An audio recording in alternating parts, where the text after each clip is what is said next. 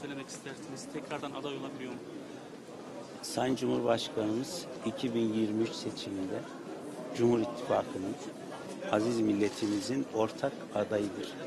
Adaylığı anayasal bir hakkıdır. Hiçbir hukuki engel söz konusu değildir. Ee, çünkü Sayın Cumhurbaşkanımız devletin başı, yürütme organı, Cumhurbaşkanlığı hükümet sisteminin ilk cumhurbaşkanı olarak 2018'de seçilmiştir. Şu anda yapılacak seçim ikinci seçimidir. Devletin başı yürütme organı Cumhuriyet Cumhurbaşkanlığı hükümet sisteminin ikinci cumhurbaşkanı olarak adaydır ve ikinci adaylığıdır. Herhangi bir anayasal engel yoktur.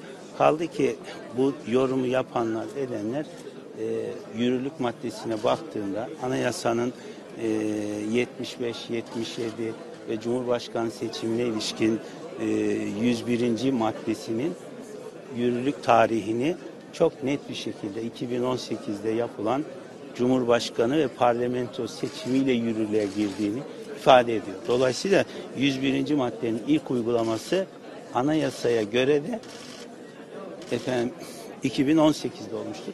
İkinci uygulaması 2023'te olacaktır. Yani hukuk e, bunu söylüyor ama kendilerine göre hukuk oluşturmaya çalışanlar iddia ediyor. Bizimki iddia değil, hukukun söylediği ifadedir. Hiçbir sıkıntı yok. Sayın Cumhurbaşkanımızın adaylığı anayasal hakkıdır. Önünde hiçbir engel yoktur.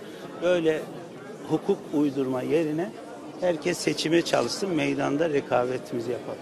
Tamam mı? Teşekkür ederim efendim. Sağ olun.